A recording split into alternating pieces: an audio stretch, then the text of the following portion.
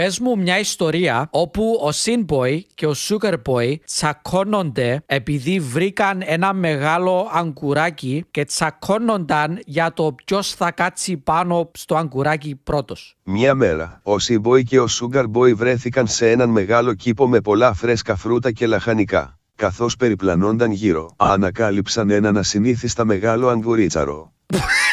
Το αγκουράκι ήταν περίπου τρεις φορές μεγαλύτερο από τα συνηθισμένα αγκουράκια που είχαν δει. Αγκουριτσάρο. Και οι δύο αισθάνθηκαν έναν ανταγωνισμό να γεννιέται μέσα τους.